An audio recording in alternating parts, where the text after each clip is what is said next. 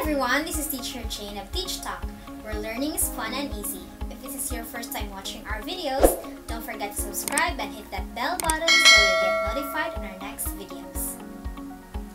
Today is another episode of What's the Difference?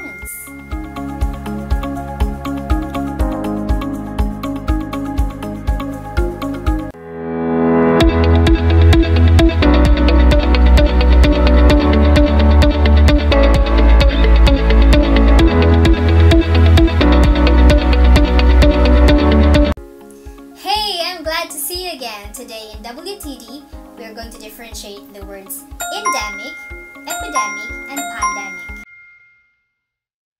It is notable that they have demic attached to them. Let's start by drawing a table for these three words, shall we?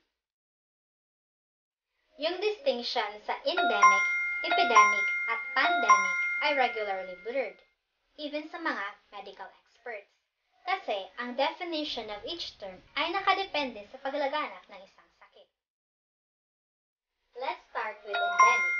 Ang salitang endemic ay mula sa Greek words na en, meaning in o loob, at demos, meaning people o tao. Ang endemic ay isang infectious case na pamalagi ang makikita sa isang lugar. Halimbawa, ang malaria ay endemic sa ilang parts ng Africa.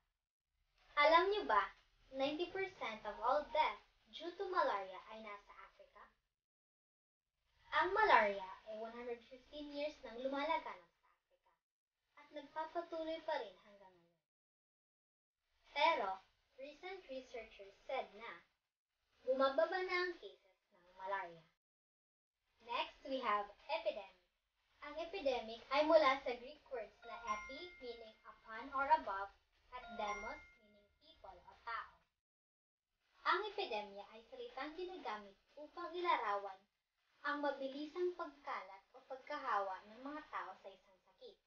Ito ay maaaring mangyari sa isang rehiyon, sa isang komunidad o sa isang bansa. Halimbawa, noong 2019, nagkaroon ng dengue fever epidemic sa Asia Pacific at Latin America, kung saan 3,930 ang namatay. Let's go to the third word, pandemic. Pandemic ay mula sa Greek words na pan meaning all o lahat at demos meaning people o tao. Ang pandemya naman ay salitang ginagamit sa pagtukoy sa mabilisang paglaganap ng isang transmissible, infectious, or communicable disease sa buong mundo. Halimbawa, ang 2009 swine flu pandemic na cause ng H1N1 flu strain ay officially na-identify noong April 2009. Pero it was officially declared as a pandemic noong June 11, 2009. At natapos ang pandemic a year after. Pero after one year, more or less, 285,000 people na sa buong mundo ang namatay. Sa madaling salita, ang endemic ay isang sakit na pamalagian o matagal nang lumalaganap sa isang populasyon. Ang epidemic naman ay isang sakit na mabilis na lumalaganap iba't ibang rehiyon o komunidad. At ang pandemic ay isang sakit na lumalaganap sa buong mundo. So, ang coronavirus disease ba o COVID-19 ay isang endemic, epidemic, or isang pandemic?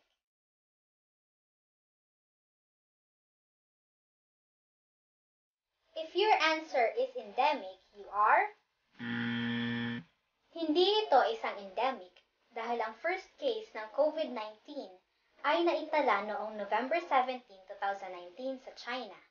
Hindi siya pamatagalan unlike sa malaria, kaya ang COVID-19 ay hindi isang endemic. If your answer is epidemic, you are correct.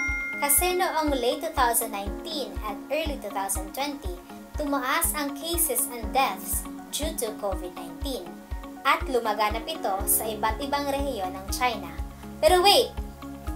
If your answer is pandemic, you're also correct.